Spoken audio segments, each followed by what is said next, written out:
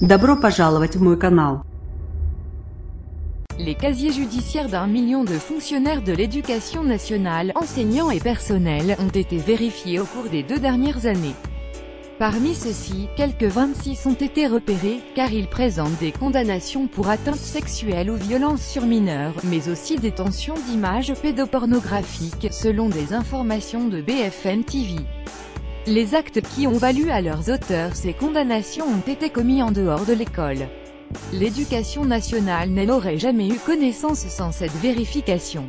Les individus concernés ont été écartés des établissements scolaires. Le traumatisme de Villefontaine en mars 2016, Najat Vallaud-Belkacem, qui était alors la locataire de la rue de Grenelle, avait annoncé que les casiers judiciaires des 850 000 personnels de l'éducation nationale seraient examinés.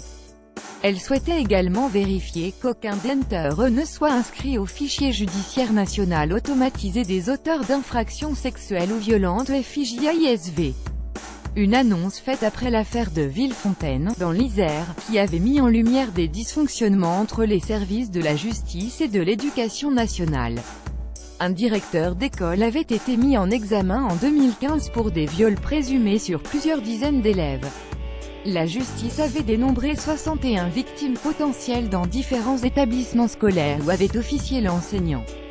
L'homme avait été par le passé condamné pour détention d'images pédopornographiques. Il avait été copé en 2008 de 6 mois de prison avec sursis et d'une obligation de soins pendant deux ans.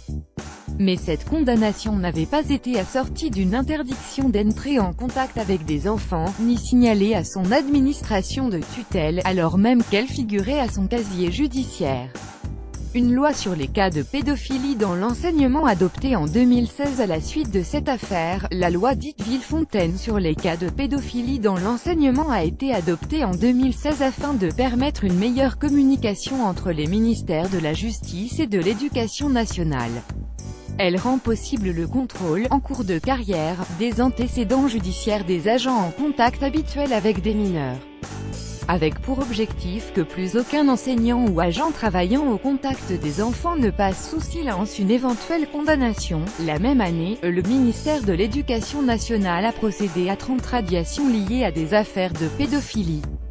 Le nombre de radiations pour des affaires de meurtre avec des faits qui ne se sont pas forcément produits dans un cadre scolaire était de 27 en 2015, 19 en 2014, 26 en 2013 et 15 en 2012, a rappelé la rue de Grenelle. Inscrivez-vous à la newsletter BFM TV Midi.